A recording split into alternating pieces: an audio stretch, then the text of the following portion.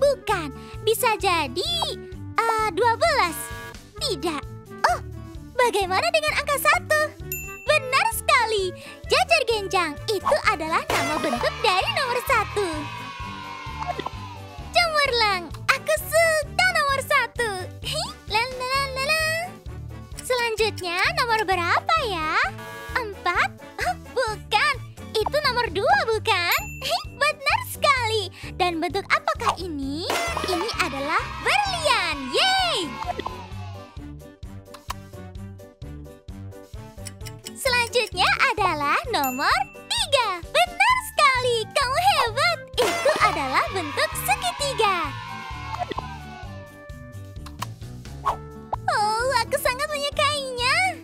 Selanjutnya adalah nomor sepuluh. Bukan, itu adalah nomor empat. Yeay! Nomor empat muncul setelah nomor tiga.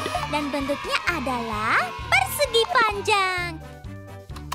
Sempurna! Melakukannya dengan sangat hebat. Ayo lanjutkan lagi. Itu adalah nomor 5. Benar sekali. Dan bentuk apakah itu? Itu adalah bentuk segi lima. Kerja bagus. Oh, lihat. Aku sedang menyeimbangkan.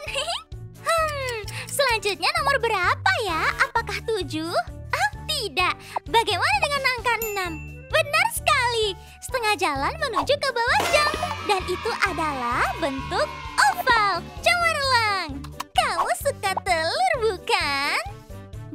Ya nomor setelah 6? Itu adalah 7. Benar sekali. Dan bentuk itu punya 6 sisi. Itu disebut segi 6. Yeay! Oh, ini adalah bentuk yang sangat menarik. Nomor 8. Itu adalah tanda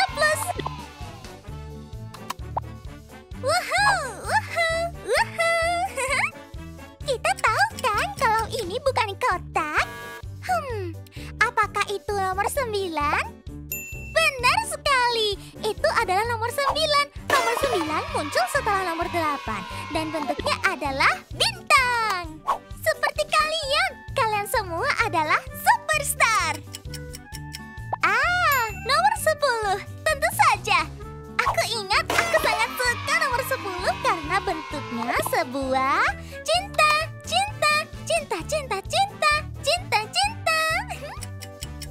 Selanjutnya adalah nomor 11. Itu benar. Dan kalian tahu kan bentuk apa nomor 11 ini? Bentuknya adalah kotak cemerlang. Sekarang tinggal satu angka lagi. 12 menuju ke atas dan bentuknya adalah 5.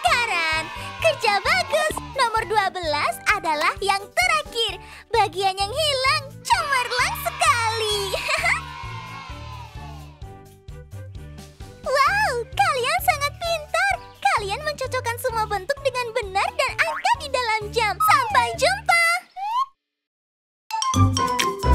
Ayo tekan berlangganan untuk mendapatkan video pembelajaran lainnya.